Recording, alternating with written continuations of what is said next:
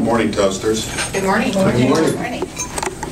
You know, it's always a pleasure when Phil speaks, because he's so smooth and eloquent, he's likable. And talk about lighting up a room, like you do, Scott, with a smile. He does, in spades, in my opinion. His message today was to inspire the group with the content of his speech. Speaking of America, provided it's all good, always inspires someone like me.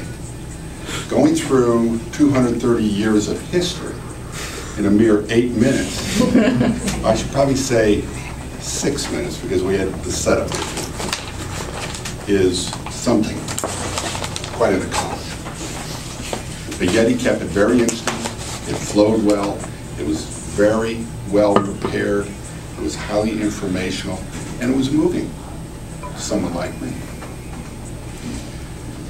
As expected, you would expect Phil, on his specialty speech booklet, to have clear diction, which he did. Great eye contact. His hand gestures were exemplary. I thought his pauses were very effective in making subtle points. Gave listeners time to think about it.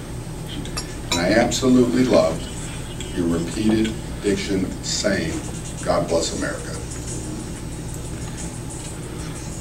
In the future, I would say anytime you use a multimedia arrangement like we had, it has to be set up.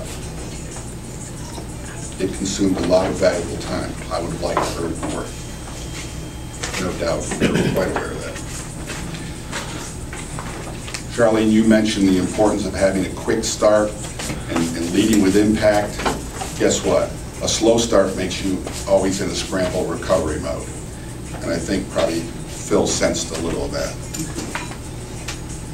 I also think you read your notes a little bit. I think that was only because you were scrambling to begin with. All in all, it was a terrific speech, quite informative, very motivational, and very patriotic.